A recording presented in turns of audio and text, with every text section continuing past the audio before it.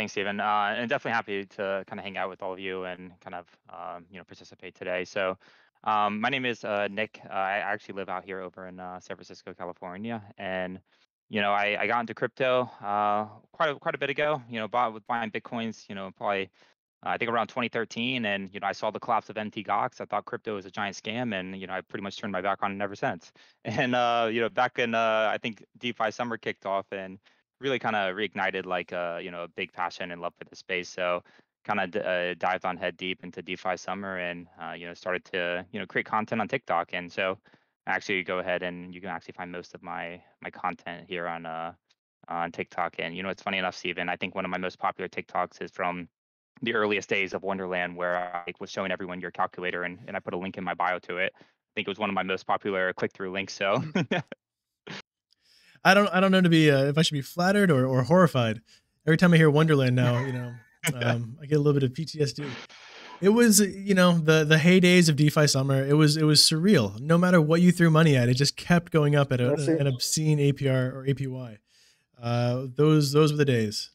From yeah, I mean, every fork, every farm. Think- Go ahead. No, no, yeah, I, I thought I heard maybe McDavid trying to speak there. Uh, I was trying to see if his audio was fixed. I don't think so. I think we have a few um, oh. a few other people who who might have their uh, video or not video, but their microphones on right now, uh, which may be getting some some background noise. So let me see. McDavid is not muted, so he should be able to talk, but we're not getting any sound from him, unfortunately. Also, CryptoNick, if you want to post your, the link to your TikTok in the uh, description, go ahead and, and do that before we before we start talking DeFi. Yeah, sure thing. Uh, where is that? Just like the general chat, then I guess. Or uh, so there, the yeah the chat. If you go to the right top right corner of um, oh, I, I see it. Yeah. Oh my god. I'll teach you Discord. Discord. You teach me TikTok. Right now. It's okay. That's that's me with TikTok. Don't worry. There you go. I'll just put a. It's kind of like a link tree. So uh, yeah, definitely. Thanks again. Yeah, perfect. Okay, cool. Um, so let's just get started. If uh, if you know if McDavid can get in, that'd be fantastic. If you guys don't know, uh, McDavid works with Aperture as well as Homora now. Uh, Aperture is working with Homora to do some some great PDN vaults. If you don't know what PDN is, it's pseudo delta neutral. Uh, we had a high interest in pseudo delta neutral about a year ago when we first, when you know, I say we, when I first figured out how to how to do them. Um, utilizing like Francium and Tulip. People were doing them before that, uh, but that's sort of when I was exposed to them. And oh, we're getting a little bit of sound from McDavid.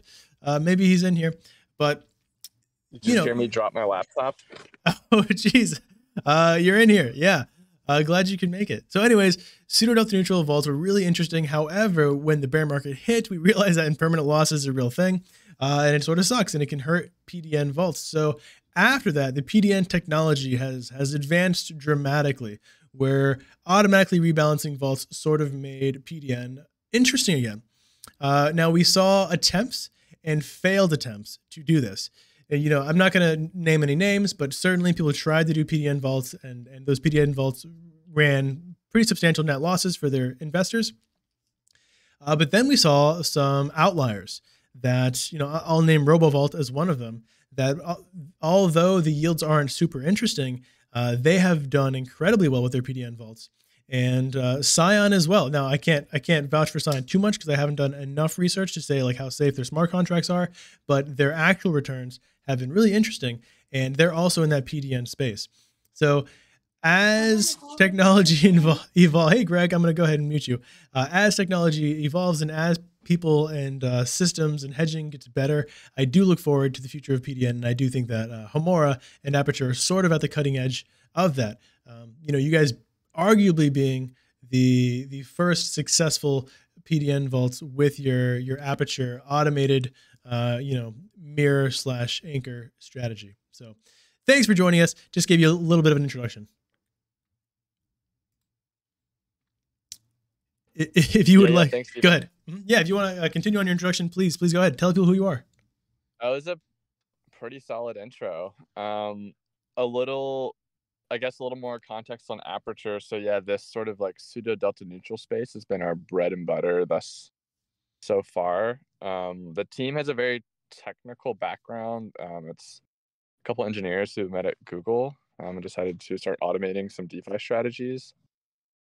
And um, yeah, I think the thing that's helped us build these successful vaults is the technical ability to pull off these like somewhat complex on-chain rebalancers, um, which is kind of the the secret to um, the pseudo delta neutral part of these vaults.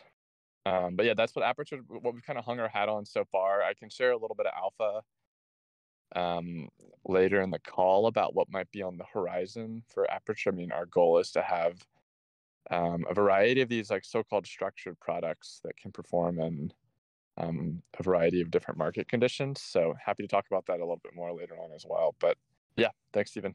Thanks for having us. Absolutely. Uh, so since I have, I mean, I don't know, some pretty robust power users in DeFi here, uh, I don't know if you're going to be able to talk because I know it's, it's, it's late where you are, but uh, maybe you can even chime in on some of these questions. I want to talk about the state of DeFi. You know, have this be a little bit about a little bit of a DeFi hangout. By the way, um, while we're doing this, McDavid, do you want to go over sort of the uh, what you guys are doing today as a as a giveaway? So I know you mentioned a giveaway. I don't know the exact details, but if you mention it and you tell it, then maybe the community will uh, will understand better.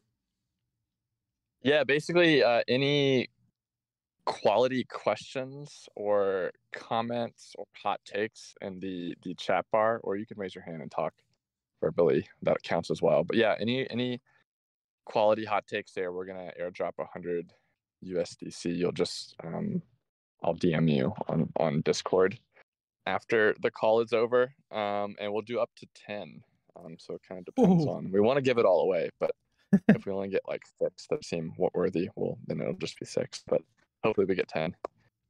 All right, so I think that will incentivize some hot takes throughout this uh, this conversation. So let's let's jump right in, right? Um, so Crypto Nick, I want to get some of your your takes on on DeFi this year. So we've experienced a, a bit of volatility in 2022. Some people might be able to argue, uh, just very broadly, how do you think 2023 is going to go, and what do you find to be the most compelling narratives moving forward? For sure. No, no, I appreciate the question. Yeah, I mean, 2022 was, uh, you're really right. It was such a unique year. Uh, there was definitely a lot going on. And, you know, for unfortunately, it's been kind of a, a down only year. So it hasn't really been uh, the most exciting time to be really in DeFi. I think when you look at some of these uh, projects, you're seeing a lot of the old narratives that used to stick. Um, you know, especially so many things surrounding like high inflationary farm tokens are starting to fade, right? People are starting to find safe haven and other kind of other risk asset classes. Um, you know, for example, uh, I bonds, right? I bonds is never an exciting thing to talk about when you're a crypto native, but you know, when they're paying eight nine percent versus some stablecoin farms, things start to look pretty attractive. So I think as we kind of approach 2023, I think I think a lot of uh, projects are really starting to figure figure this out, right? About what makes um, a compelling use case for uh, when when token, right? When actually is a token useful?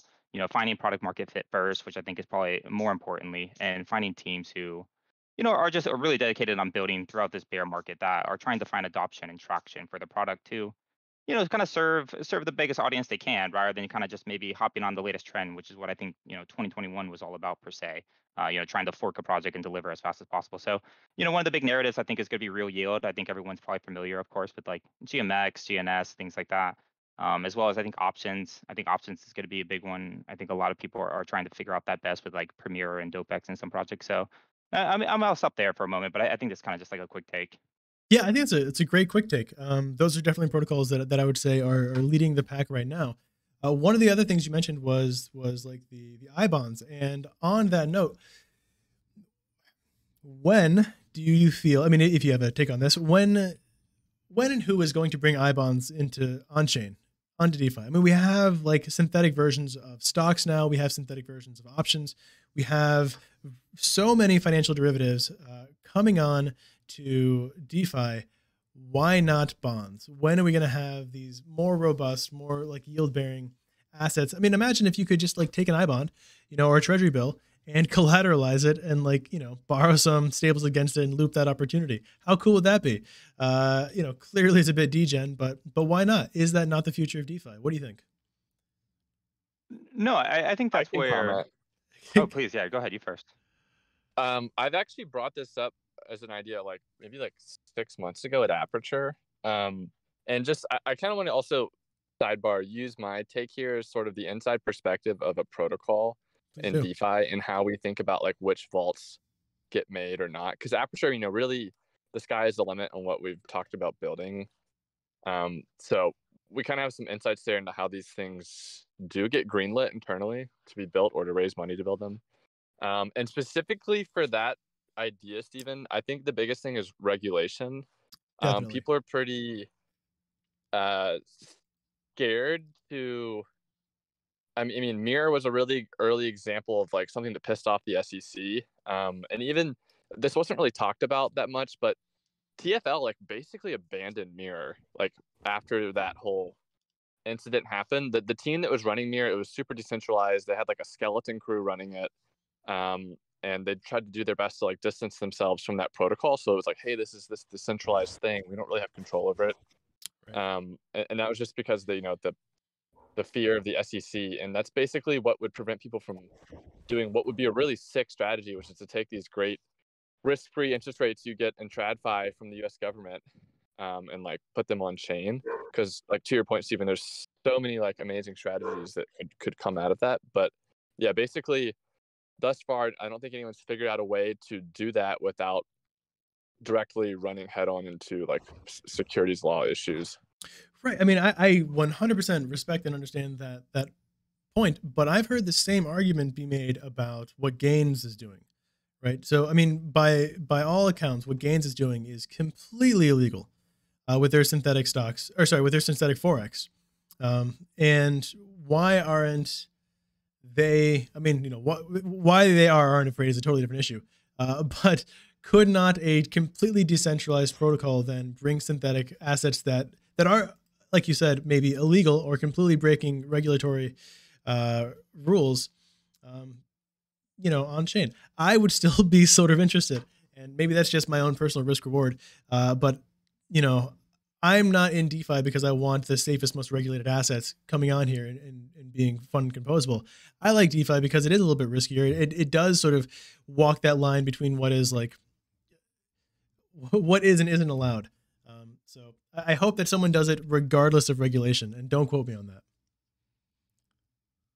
Well, when I think you you look at these different teams, you know, GMX is a perfect example of this, and you know they're a, a completely anonymous team, right? And I think mm-hmm. they they stay anonymous because of maybe some perhaps regulatory concerns. And you know, I agree with you, Stephen, which is like there's probably a team out there that you know maybe looking at it. I think ultimately comes to you know the founder's risk profile.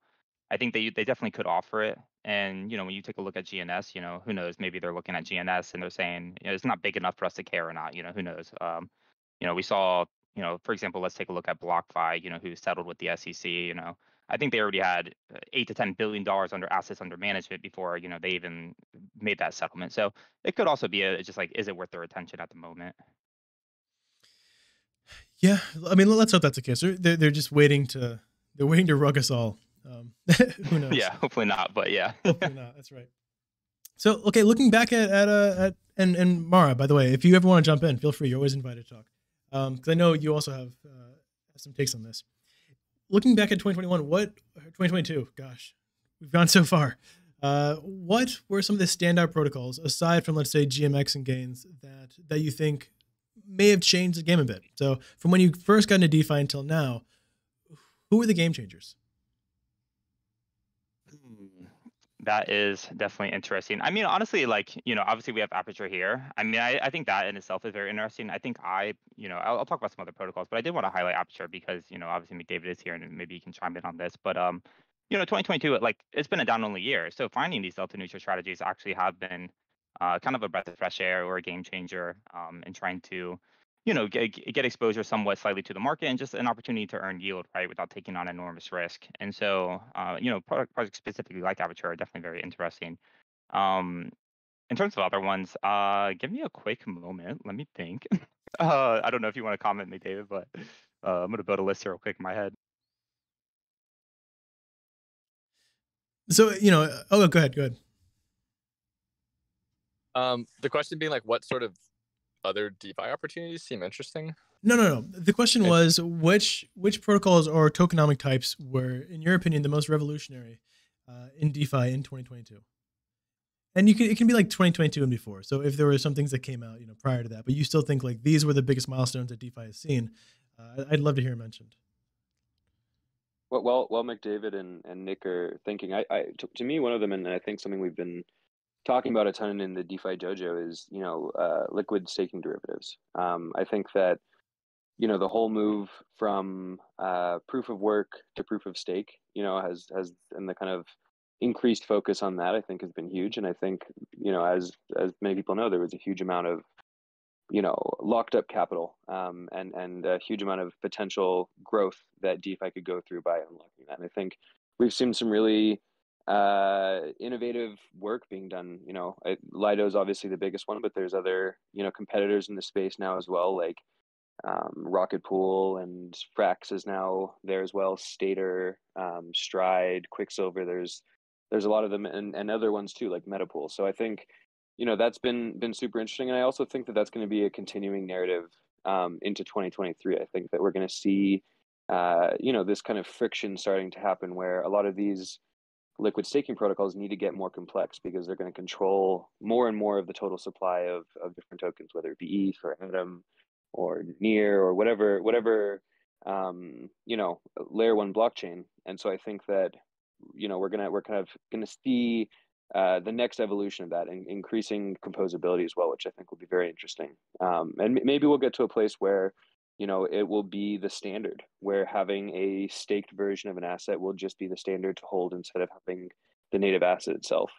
Um, and and of course also you know with with uh, the next ETH update coming coming on and like the Beacon chain staked ETH, uh, you know, hopefully getting unlocked sometime maybe in March or, or Q1 or Q2 of next year. I think that will also really change the space as well um, in terms of like these assets going back to peg which i think will increase confidence in them as well um, specifically talking about like staked ETH there and another thing which which i think is going to be super interesting in 2023 is you know uh, these these structured products you know that's kind of getting back to uh, you know aperture and what mcdavid was saying i think that that's going to have a heyday next year um, you know it's we've already seen a lot of kind of compelling uh, offerings. Uh, as you said in the intro, Stephen, there's been you know some problems with with different ones of them with you know the ability to rebalance. But I think uh, you know adding these higher levels of complexity to these structured products, making them being more and more compelling, and I think it'll also bring in a lot new a lot of new users. I think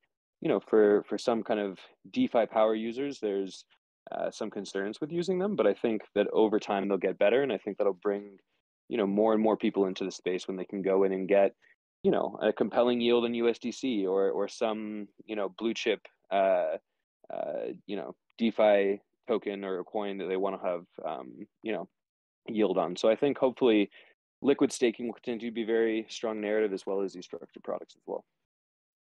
Yeah, you've mentioned uh, some things that, that you and I have talked about before, which is like, is there a future in which liquid staked assets become the norm? Like, why would you hold ETH when you could hold like wrap staked ETH? It's just ETH that gains in value, you know, four to five percent intrinsically year over year.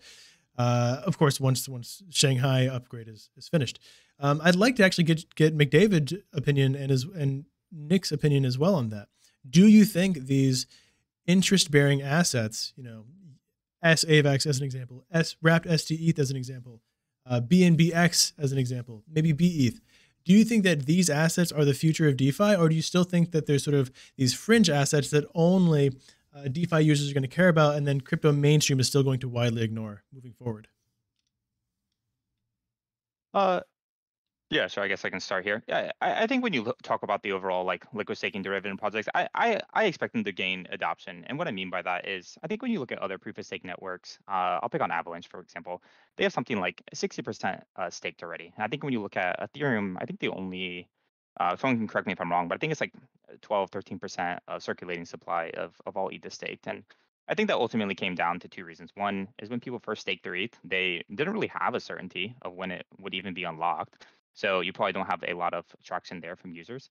Um, additionally, right, we've seen a lot of new, uh, uh, what's it called? Uh, a lot of new like improvements in the like last few months, right? We have Fraxeth, which is kind of gaining exponential adoption. We have things like uh, Coinbase ETH, which has come out. Uh, and so I think what you'll see is more and more uh, adoption of these stake because, like you said, it doesn't really make sense to hold an asset that's kind of where you could be earning free staking rewards and not really taking advantage of that opportunity.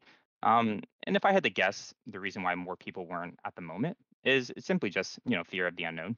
will the Shanghai upgrade go through?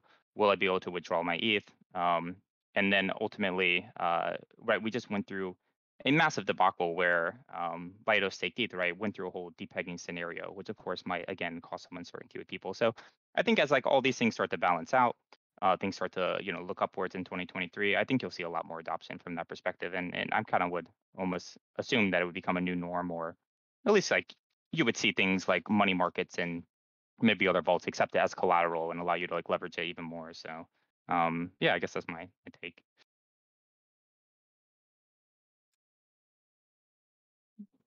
Thanks, uh, Do you wanna McDavid. Do, do. McDavid, do you want to chime in there?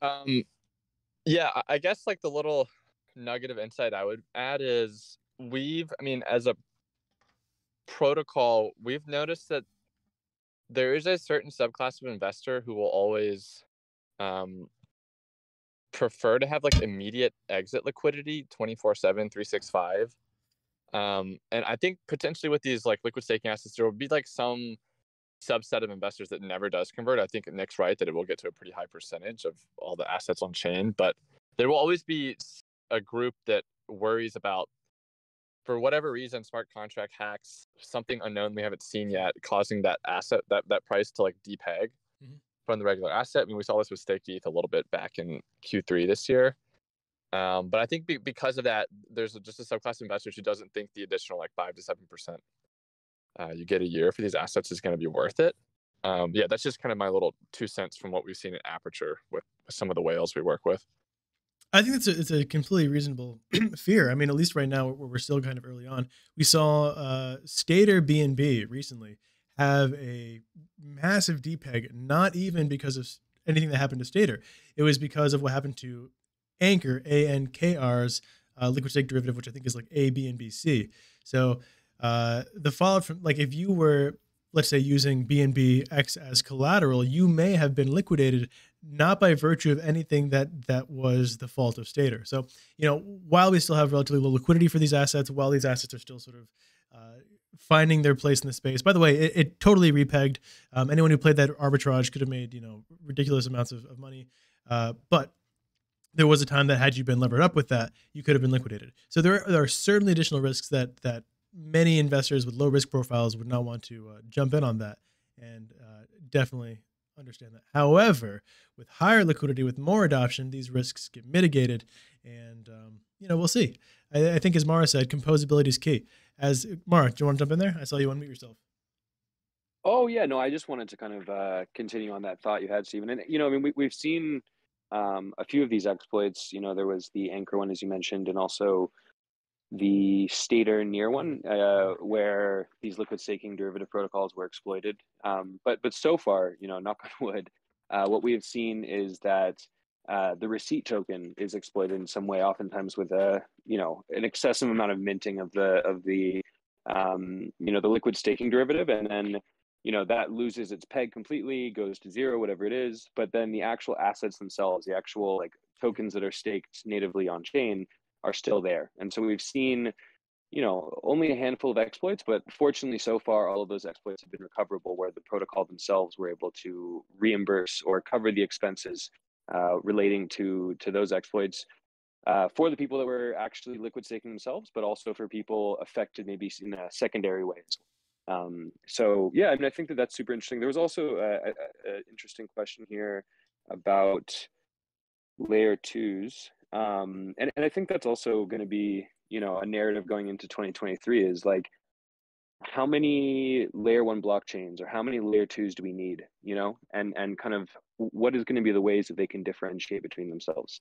Um, i think that that's going to be you know super interesting. I think eth obviously has uh, the the the throne in terms of like having the highest quality protocols having the best security. Um, but how does bsc how does avalanche how does arbitrum optimism fantom fill in the blank or one or layer two differentiate itself and find its you know product market fit? Um, i think we're starting to see that maybe a little bit with with arbitrum you know and having uh, leverage trading and different uh, you know uh, there's there's perps there's options coming there's all sorts of stuff. I think that that's maybe one way we're kind of starting to see this differentiation. Um, maybe other ones will focus more on nfts they're more on gaming. You know, and we are already kind of seeing these uh, even L2s that are going to be specialized for certain things. So I think you know that's going to be an, a super interesting narrative as well, and and to see when a lot of these foundations, which still have you know a lot of uh, money in their treasuries or in their community pools, you know, start uh, um, being willing to kind of incentivize again um, yeah. different activities on chain. Uh, so I think that'll be another interesting narrative to watch over the next, you know, 12 to 18 months. Absolutely. And actually, I can give a go ahead. Go ahead, Aperture. Uh, yeah, me, David. I was just, I, I was, I was gonna say I can give a little more color there. Um, in Aperture, we have new strategy vaults coming up that are not going to be on Avalanche. Um, and for the first time, we've actually been able to pick the chain the new strategy will be launched on. We're not like beholden to a specific protocol and a specific chain. And so within that process, we've given a lot of thought to these, you know, alt L1 narratives. And what Aperture has kind of come to decide is that the low liquidity and the risk of the chain just like failing or becoming irrelevant in the next like five years are too high for us to justify not doing Ethereum or not doing Arbitrum or Optimism. Um, so that's basically kind of what our decision making framework looked like. So the next vault we build will almost certainly be on Ethereum mainnet or one of the the L2 scaling solutions.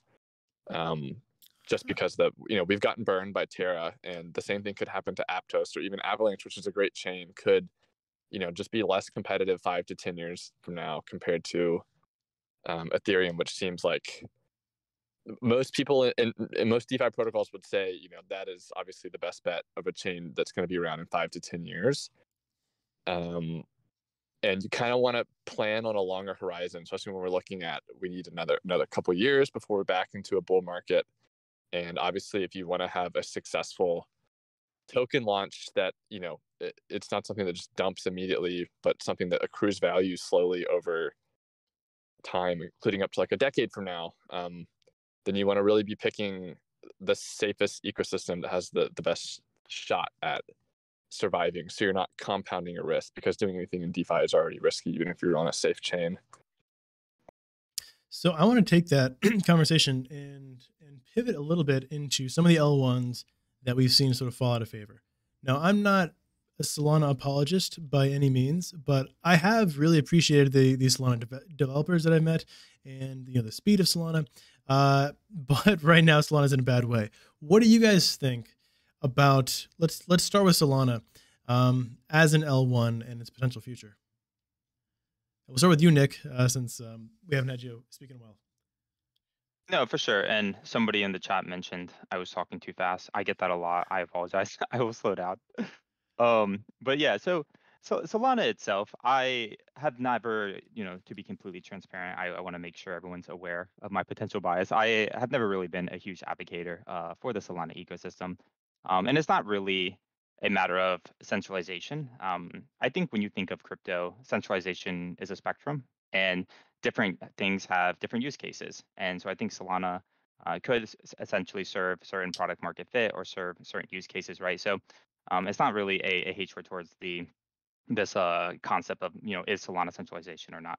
But I think when you look at the chain, I think a lot of people were turned off in terms of DeFi natives particularly because of the way that those projects uh, conducted themselves, uh, specifically uh, the tokenomics releases, um, often very uh, low supply. And I think a lot of people, um, you know, uh, didn't really appreciate that, and that's why you never really saw Solana DeFi kind of take off. I think if you even look at Solana now, one of the biggest problems is um, its TVL adoption, right? It's at uh, just a measly 250 million, below chains that people might not have even heard of before. And so I do think they do have a future. I do think they have a ton of capital and a ton of VC backing.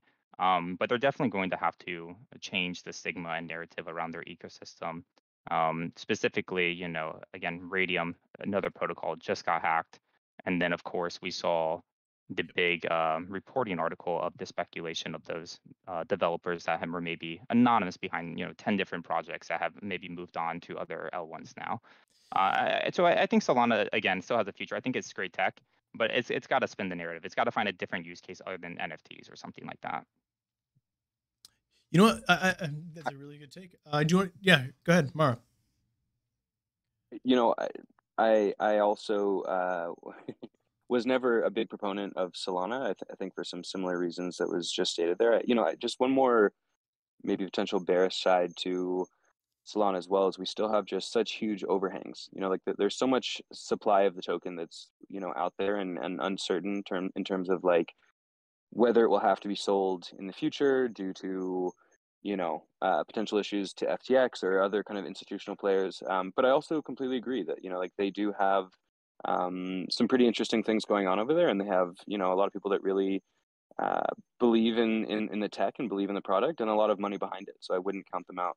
Um, but but I also just had a quick question for for McDavid. Um, you know, I think that that perspective of like being a protocol and trying to decide where to build, I think is super interesting. And and I, and I heard you mention ETH and the L2s. Um, you know, and and I'm kind of I guess curious to hear more about the selection process between going uh, to ETH mainnet or going to an L2.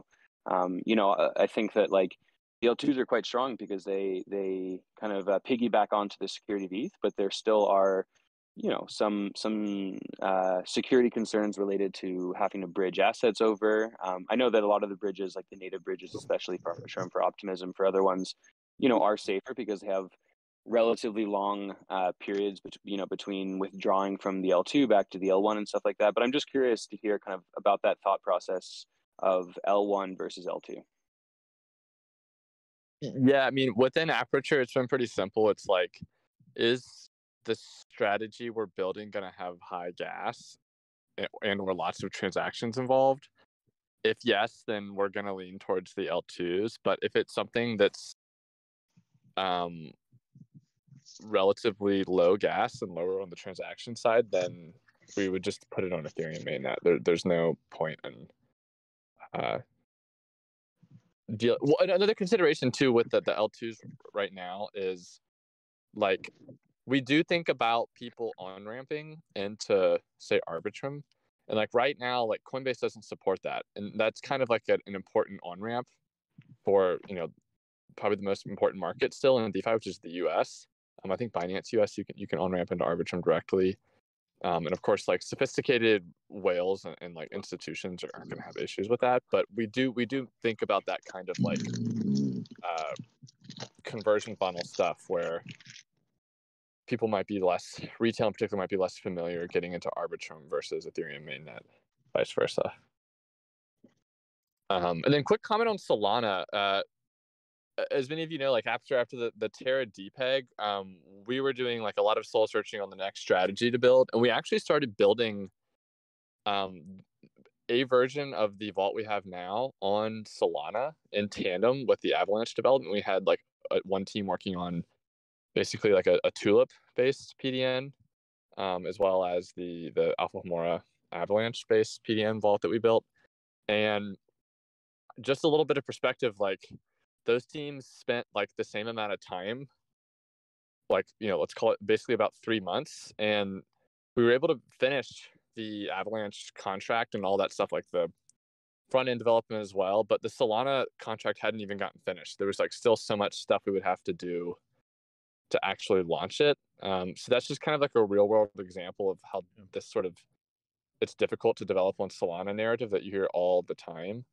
um, and that's definitely still an issue. I mean, Solana has some amazing developers, uh, as Stevens called out. I, I totally agree with that, but it, it's still friction for new people entering the space or, or protocols that are pretty chain agnostic and, and build stuff here and there. Um, getting into Solana will always have kind of an upfront, like plus 50% development time to do anything.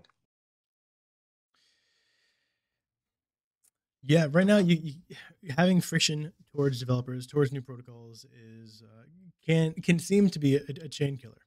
Um, and yeah, I think Solana is Rust. Uh, Cam33 SS is asking. Okay, so let's move on from from the uh, potentially bearish narratives surrounding Solana and to the more I don't want to say bullish narratives, more hopeful narratives. So we've mentioned the ETH L2s as being uh, these sort of hopeful competitors for the future of Aperture, and we're going to get to Aperture in just a second here, probably uh, around uh, four minutes from here. But before then, what aside from the ETH L2s, which other L1s or maybe not L1s uh, are you guys thinking will have strong narratives moving forward, whether it be something like Aptos or the the IBC? Uh, what what do you think the future of DeFi is aside from you know ETH and its L2s? Uh, sure. I guess I can start.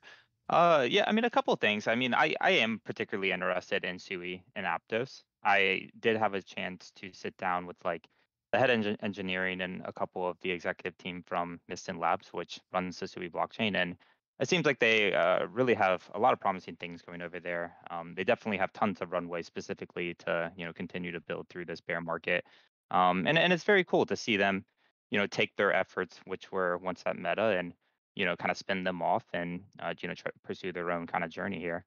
So I'm definitely kind of you know keep an eye out, not necessarily endorsing you know the you know tokens or anything like that. I'm much more interested to see um, what kind of adoption they can drive through this bear market. Um, and then I guess one other chain I, I guess I might be interested in would be uh, honestly coming kind of taking a second look at Fantom. You know, at one point I'll be honest, I, I kind of writ off Fantom uh, after you know the 2022 wasn't such a good year for them. But seeing Andre Cronje's article and you know what he's done to boost their treasury and their runway and you know they have this enormous war chest so i'll just kind of be keeping an eye on things seeing if you know they're able to you know attract any new talent and you know build anything new things out that you know maybe it's worth uh you know bridging back over so. I would love to hear uh, mar if you're still there i'd love to hear your take on his take. Um yeah i mean i i have some similar feelings as well like and i think that um you know, I think things were quite bearish there for a while with Fantom. I think that they uh, made some difficult decisions when it came to how they were uh, incentivizing protocols to be on the on the chain. Um, you know, and I think that there was some difficulties with communication. But I think it's it you know it has been interesting to see Andre come back, and I think you know quite impressive, honestly, to see how successful they have been at their treasury management and kind of um, you know building that over time and, and building the runway which i think could be you know an issue if we're looking at a project you know needing to sustain itself for you know multiple years or even longer than that. Um, and, and and of course i'm also you know very bullish uh, cosmos in general. I think that you know i we, we've kind of already talked a bit about the eth bull case and i think that to me cosmos is a really strong alternative especially since it is just so fundamentally different um, you know, instead of having one main chain which everything is built on top of, you know, whether that be protocols themselves or, or L2s, um, you know, it's having this kind of interconnected web of, uh, you know, of, of, sovereign blockchains and each having kind of their own specific purpose um, and being built for for specific things. Like, you know, um, there is Sei, which is going to be built and and that's going to be specifically you know for for having really high transaction speeds um, so that you know certain protocols that need that can be built on top of it. Um, we've seen other protocols as well like kujira who has a specific purpose and so you can kind of really fine tune uh, you know just the the underlying structure of the blockchain itself to fit kind of the the need and the demand. I would say i think it's been not nearly as tested as or or, or like shown to be um, you know effective as something like ETH mainnet. So there's still, I think, a big question mark of it. But I, but I do think that as kind of an overall thesis, it makes a lot of sense to me. Um, and and you know, one of the the great parts is that the Cosmos building community is just so strong, and a lot of that infrastructure that's needed, like IBC, you know, and and a lot of the other new improvements that are coming as well, like um, interchain communication and, and and other things as well as um, either already in place or or you know is fast in the works. And and you know this is kind of a bit of a meme but you know cosmos is one of the only chains that has uh you know finished their their roadmap so to speak. Um you know so i think that they have a proven track record and kind of like defining where they want to go and actually being able to to achieve that to a certain degree. We could certainly uh, wax lyrical about yeah go go ahead go ahead. Oh, I was actually just uh, if we could piggyback off that one more, I just ask you one more question. Um, what what do you do you have any thoughts on the rejection of the the 2.0 proposal and maybe your your thoughts on how you know the Cosmos ecosystem will move forward? Oh, I guess I was from. I didn't realize. But...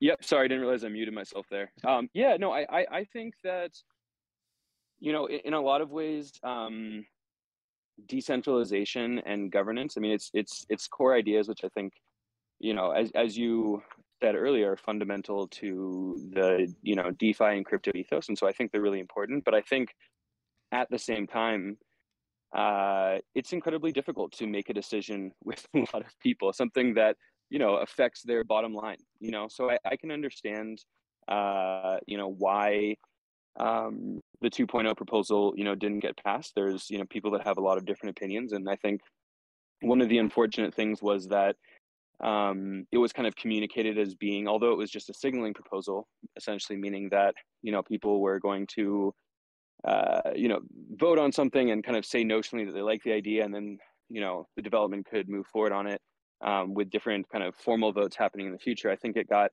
uh, politicized in, in a lot of ways, um, just within kind of the Cosmos community itself, which can be very negative sometimes. And I think, you know, it's it's kind of uh, maybe you know a strength but also weakness at the same time. So as far as i know and, and, and i am in contact with a lot of different protocols in cosmos a lot of people that are building i think you know the 2.0 not passing i think may slow things down slightly.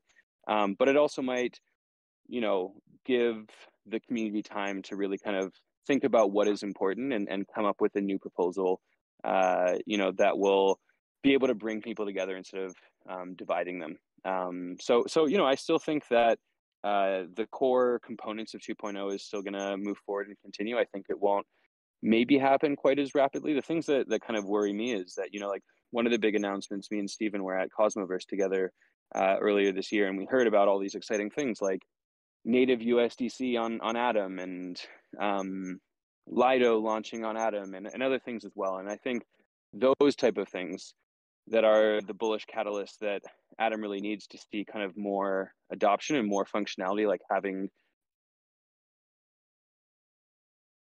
degree slowed down. Um, but that's you know just to be clear, that's only specifically for the Cosmos Hub.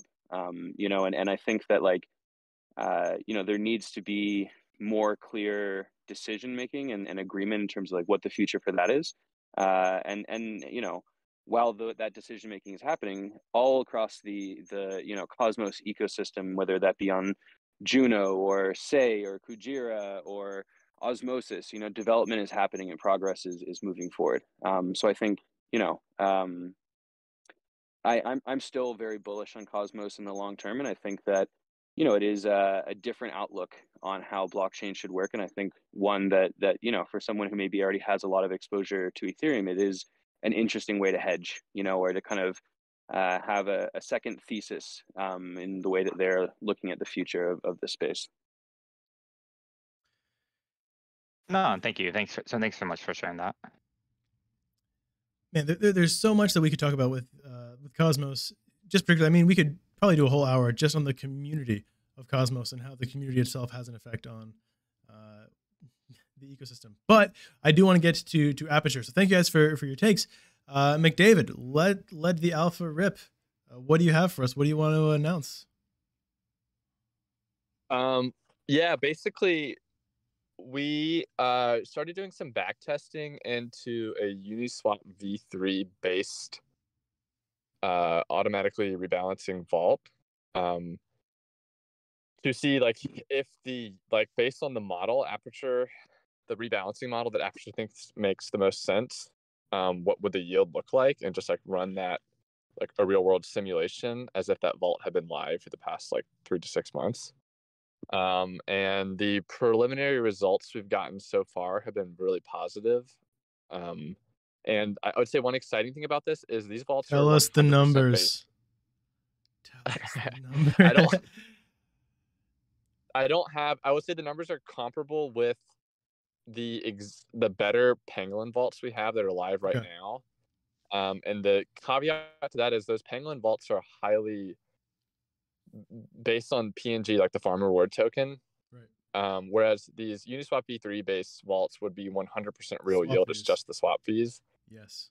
Um, so that's pretty exciting. Um, we'll we'll do a medium post to to kind of share more of what the backtest revealed to be on the lookout for that. But um, that's a strategy we're really excited about because it's a real yield and b um, the liquidity is so deep on these Uniswap v3 pools that you can really really scale up the strategy. Whereas Um, like currently, the, the vaults we have on on Avalanche are kind of bottlenecked by Iron Bank borrow supply, which is unfortunate. But um, that's something we, we could we could mitigate with uh, a Uniswap v3 based PDN.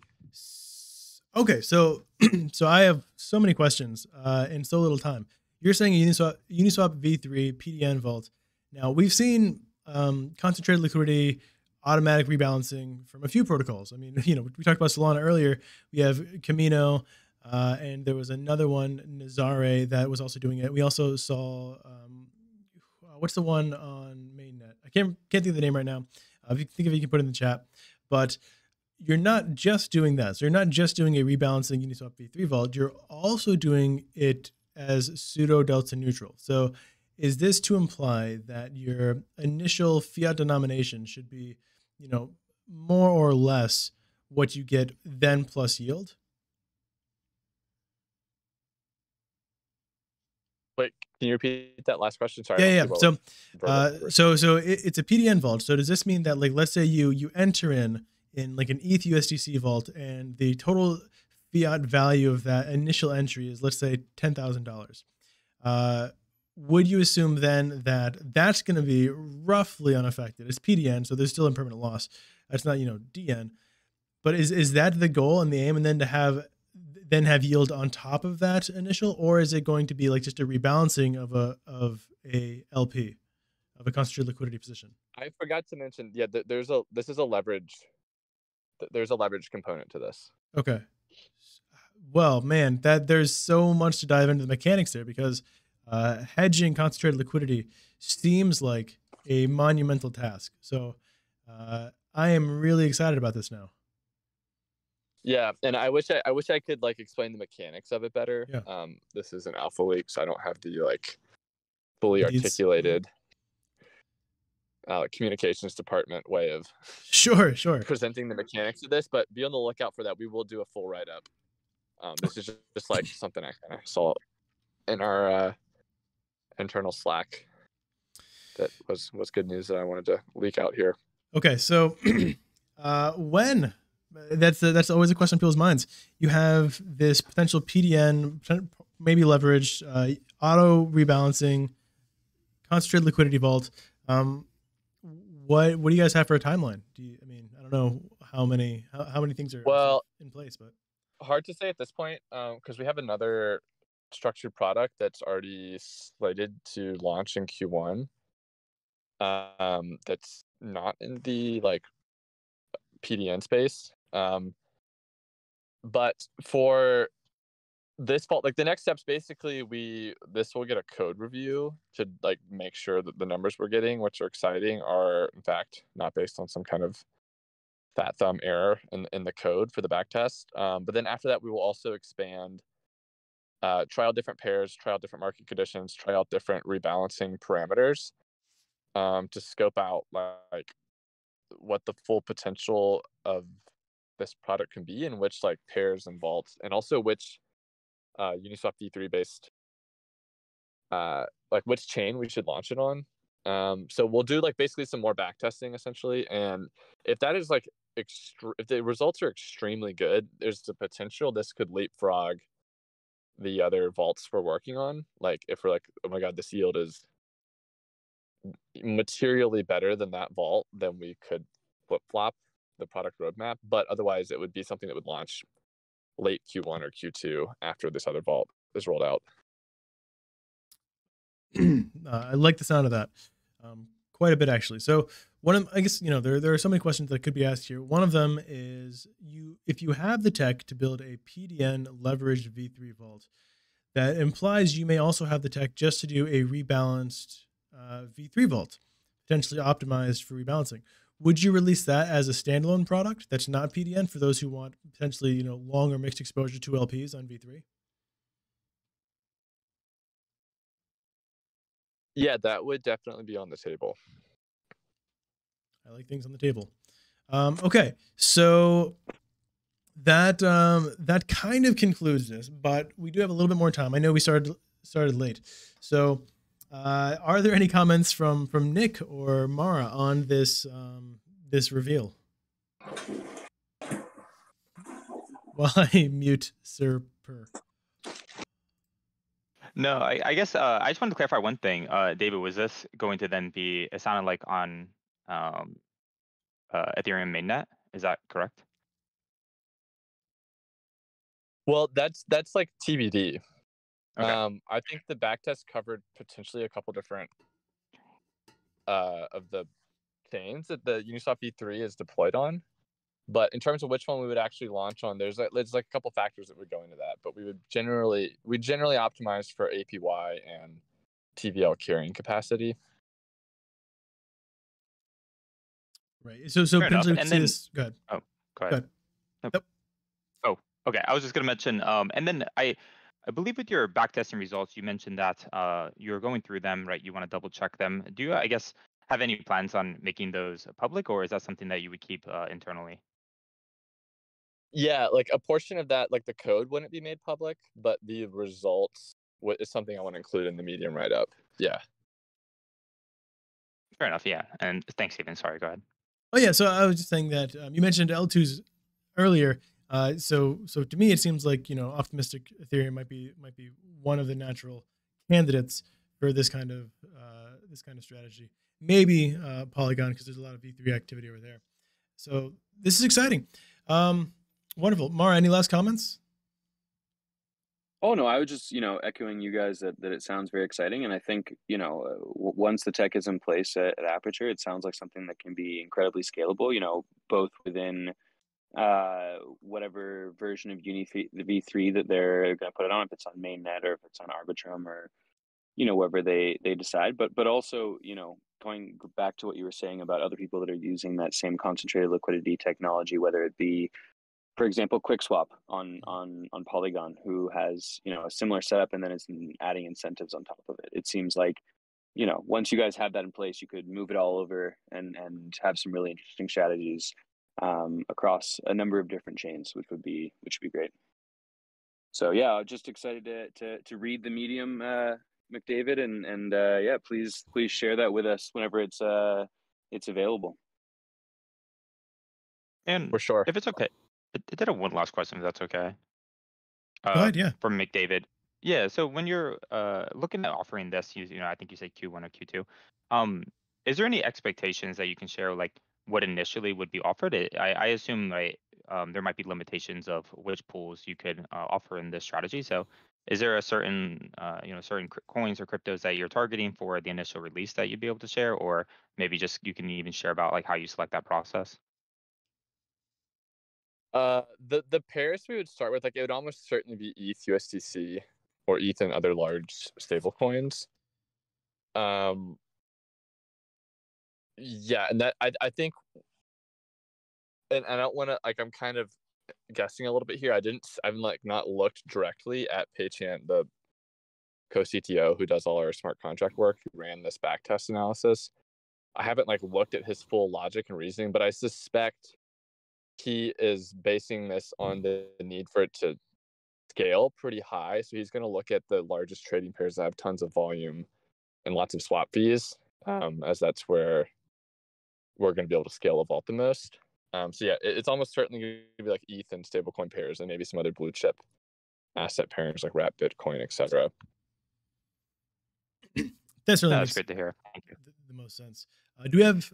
I, I'll give you guys five more minutes. Are there any questions from the audience for for Aperture, for Nick, for myself, uh, even for Mara, if there if there happen to be any? And if you do have a question, um, I've server muted a bunch of you guys, uh, so please like either raise your hand or just type the question in the chat if you have any. Uh, conversely, uh, McDavid, if you want to a- publicly answer any of the questions that we saw earlier, I think we have Pixel. Um, yeah, Vlad. Or do you want to go ahead and ask a question? We have uh, well Vlad, and then we'll have Don Sylvester. Misclick my tweet. I'm sorry, misclick. But I do have a question on Twitter. But it was an unintentional misclick. I have like four screens open, so I'll ask it later. Okay, all right. Uh, Don Sylvester. I don't know if you're you're muted, but if you're not, you can you can ask it out loud. Let's see. You yep, you can go. Yeah, uh, first of all, thanks a lot for the AMA. It's, it's uh, quite interesting. Um, where do you kind of see the road ahead in terms of integrating with some other applications, especially when talking about um, like UniV three pools and uh, pseudo-delta neutral on, on impermanent loss. Like, do you consider integrations with something like GammaSwap viable, or do you rather view them as some sort of competitor? I'm personally not super familiar with GammaSwap's product, but I know there are one of the like smart contract engineers at Aperture has like talked about them quite frequently. I think maybe he personally uses them. Um, so I can't give you a specific answer for gamma swap, but in general, I mean, I do head up partnerships at Aperture, and so our general uh, partnership criteria is that the partner we're working with, like if we're building on top of someone, um, it needs to be a fairly trustworthy protocol that has enough liquidity within it that it can scale. Um, and we also need to like directly meet with their team to understand like what their motivations are. Um, are they like a team that launched a token a year and a half ago and like made some money and now they're kind of like lazy and not that motivated? Therefore, it's going to be hard to get them to like implement changes that are necessary or even just be generally collaborative um, or are they like a super sharp team that's like hungry and like really eager to to build partnerships like the Homora team has been with us. Um, if that's the case, then yeah, we'll, we'll go forward with the partnership. But generally, yeah, it's like a level of safety and trust, and then also like the scalability, the general liquidity within said protocol is usually quite important for Aperture being able to scale whatever strategy we're building alongside them on top of them.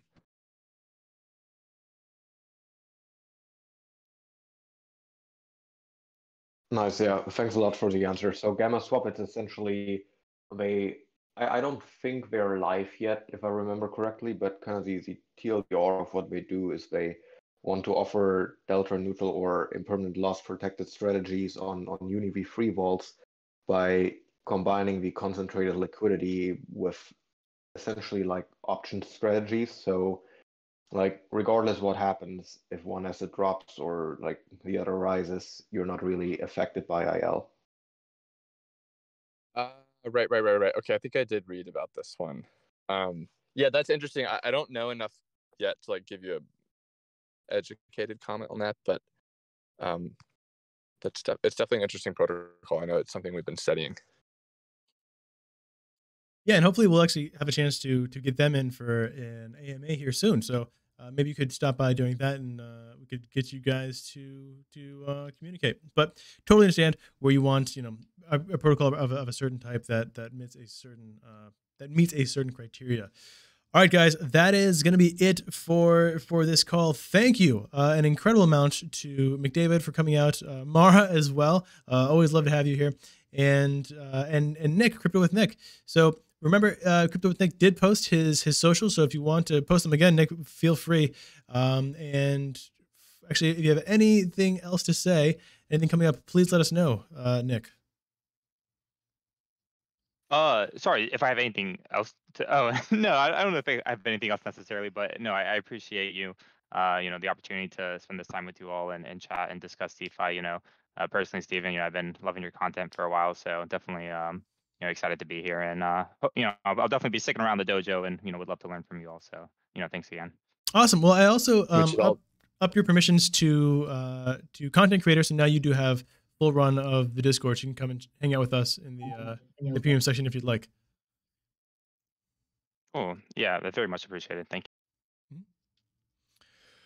all right guys that's it thank you so much for coming and have a wonderful rest of your day. Uh, winners or airdrop airdroppees will be announced in the future.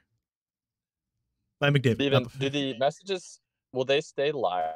Yes. After... Yes. All like, the messages will be available I... for you to scroll through. Okay, sweet. Because I'm gonna, yeah, I need a few hours. okay. Awesome. okay, absolutely. All right, bye guys.